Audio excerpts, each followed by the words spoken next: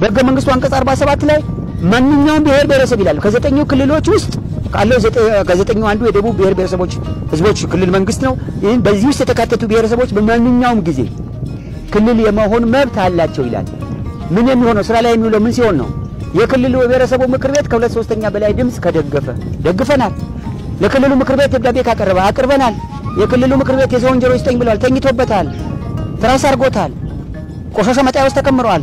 የእኛ ህዝብ ጥያቄ ማለት ንቀት ነው ይሄ ድፍረት ነው ይሄ በራሱ ጉራጌን አለማወቅ ነው በራሱ ለመብቱ ከፍተኛ መስዋዕትነት የሚከፍል ጀግኖች ጥንቱም አሉ፣ ትላንትም አሉ፣ ዛሬም አለ።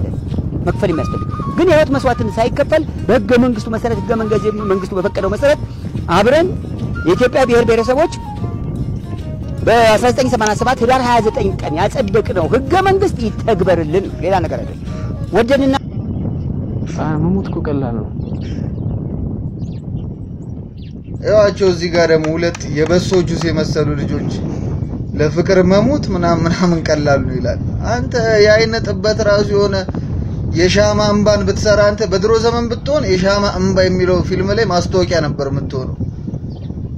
ገና ገጭ ላይ ጺም ያለወጣ ሰውዬ ለፍቅር ስለመሞት ምናምን ታወራለህ። ሁለታችሁንም አይናችሁን ወፍ ይምጠጠው።